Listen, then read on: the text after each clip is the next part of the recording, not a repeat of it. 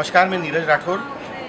IMA के conclave से आज मेरे साथ में कैप्टन पीजे सिंह सर हैं जो कि एक soft skill training company run कर रहे हैं। सिंह साहब अभी ये देखने में आ रहा है कि यूनिवर्सिटीज़ और कॉलेजेस से जितने भी स्टूडेंट्स निकल रहे हैं पास आउट हो रहे हैं हर साल जी उनमें ये देखा जा रहा है कि कहीं ना कहीं स्किल्स की कमी है। जी। वो इंडस्ट्री की नीड को पूरा नहीं कर पा रहे। जी जी। आपने बिल्कुल सही कहा, भाई साहब। असल में क्या हो रहा है कि जो कॉलेजेस हैं, वो सारे एकेडेमिया में इंटरेस्ट लेते हैं। अर्थात करिकुलम पूरा करना होता है, उनको कोर्स पूरा करना होता है। लेकिन वो जो कोर्स कराते हैं या जिससे उनको ग्रेजुएशन मिलती है, उससे ज़रूरी नहीं है नौकरी भी मिल जाए। क्योंकि अगर इंजीनियर की ज़रूरत है, सौ लोग अप्लाई करेंगे, सौ के सौ इंजीनियर हैं। अब नौकरी किसको मिले देखिए, एक हार्वर्ड की स्टडी है, वो कहती है कि अगर आपकी क्वालिफिकेशन सेम है तो नौकरी उसको मिलती है जिसकी पर्सनैलिटी और कम्युनिकेशन अच्छा अगर हम, जैसे हम ऑलरेडी काम करते हैं स्किल डेवलपमेंट में स्कूल में करते हैं कॉलेज में करते हैं, ताकि बच्चों को जो गैप है, एक तो एक्सपेक्टेशन है इंडस्ट्री की, और एक करिकुलम जो है, वो कई बार इंडस्ट्री के बीच में और कॉलेज के करिकुलम के बीच में गैप रह जाता है। क्योंकि हम लोग इतनी जल्दी करिकुलम चेंज नहीं कर पाते। तो ज़रूरत है कि हमारे जैसे लोग या जो और टेक्निकल ट्रेनिंग वगैरह कराते हैं, उनके साथ मिलके अगर इन बच्चों को तैयार किया जाए तो वो जो गैप है, जो एक इंडस्ट्री को चाहिए और वो जो एक एकेडेमिया वाले कर रहे हैं, उन दोनों को पाटा जा सके। उसकी आवश्यकता जैसा कि प्रधानमंत्री नरेंद्र मोदी जी स्किल इंडिया के माध्यम से स्किल को हमेशा डेवलप करने का उनका एजेंडा रहा है। तो क्या गवर्नमेंट और प्राइवेट सेक्टर की पार्टनरशिप से कुछ फ़ायदा होगा स्किल डेवलपमेंट के सेक्टर में? जी देखिए, मोदी जी ने एक बहुत अच्छा काम किया है, बहुत बड़ा बीड़ा उठाया है। उस सेक्टर को स्किल दे रहे हैं जिस सेक्टर में अभी तक ऑर्गेनाइज्ड ट्रेनिंग नहीं हुआ करती थी। अब जैसे मोबाइल की इंडस्ट्री शुरू हो गई है। मोबाइल के टेक्नीशियन की ट्रेनिंग नहीं इलेक्ट्रिशियंस हमारे पास भरे पड़े हैं। इलेक्ट्रिशियन की सर्टिफिकेट ट्रेनिंग नहीं है।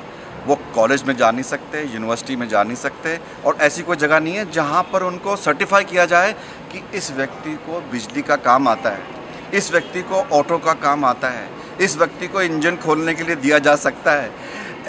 वही स्किल डेवलपमेंट जो है मोदी जी कर रहे हैं। बहुत अच्छा काम कर रहे हैं। अभी मोदी जी को इसके आगे और जाना है और वो है कॉलेज तक पहुँचना। अभी तक वो कॉलेज से बाहर वाले जो जो लोग हैं, जो स्किल डेवलपमेंट से ही अपना गुजारा करते हैं, उनके लिए बहुत अच्छा होगा। उसको आगे ले जाने के लिए, जैसे आपने कहा इंडस्ट्री और देखिए, आज हम कन्वेंशन में भी सुन रहे हैं कॉन्क्लेव में भी सुन रहे हैं, जितने स्पीकर आ रहे हैं, सब यही बात कर रहे हैं कि जो चीज़ में आपकी स्पेशलिटी है, वो तो आप ज़रूर कीजिए।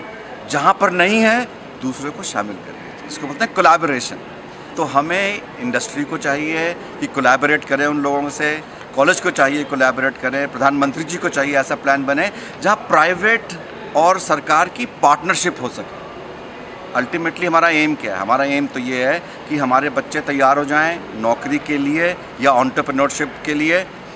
और हम क्या कर रहे हैं उनको? हम केवल एक टेक्निकल स्किल दे रहे हैं, जिसके केवल टेक्निकल स्किल होने के कारण नौकरी नहीं मिल सकती।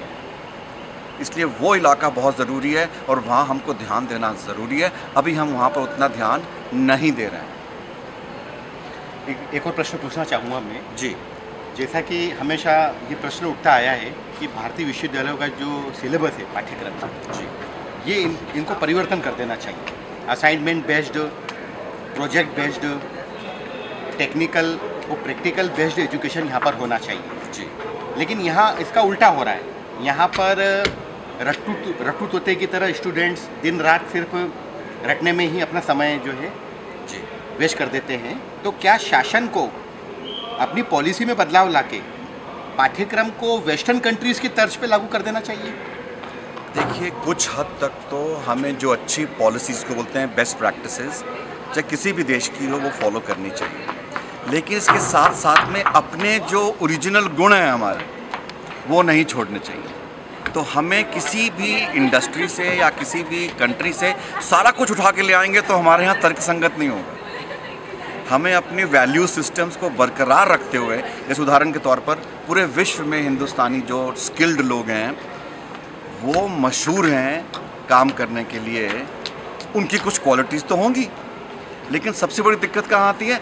एप्लीकेशन फ़ेज़ यानी कि जब हम कुछ पढ़ाते हैं, उसके बाद लेक्चर के बाद उसको अप्लाई करना पड़ता है। वहाँ हम कमज़ोर हैं, जो है प्रैक्टिकल ट्रेनिंग प्रैक्टिकल में कराते नहीं हैं, हम केवल बच्चों को रटाने के चक्कर, जैसे आपने कहा, रटाने के चक्कर में लगे रहते हैं इंडिविजुअल डेवलपमेंट करने के चक्कर में रहते हैं, जबकि हमें उसको इस तरह तैयार करना है कि देश, विदेश, कहीं पर भी जाके उसकी स्किल सेट्स की ज़रूरत पड़े स्किल सेट्स काम आ सकें, ये बहुत ज़रूरी है। जैसे कहा जाता है कि टीचिंग के चार फ़ेज़ होते हैं, पहला फ़ेज़ होता है मोटिवेशन फ़ेज़ दूसरा होता है इन्फॉर्मेशन फ़ेज़ तीसरा होता है एप्लीकेशन फ़ेज़ चौथा होता है इवेल्यूएशन अनफॉर्चुनेटली हमारे एजुकेशन सिस्टम में ना तो हम मोटिवेट करते हैं, ना ही हम अप्लाई करते हैं. इन्फॉर्मेशन देते हैं और टेस्ट ले लेते हैं.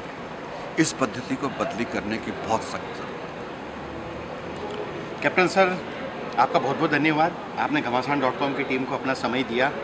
आई होप कि हमारे यूथ आपके इस मैसेज से लर्निंग लेकर निश्चित ही अपना स्किल जो है डेवलपमेंट करके इंडिया को एक सुपर पावर की तरह स्थापित कर पाएँगे। जी आप, आपका धन्यवाद आपने मुझे मौका दिया। आज की जनरेशन जैसे वाई एक्स जो भी कह लें उससे बात करने का। Thank you very much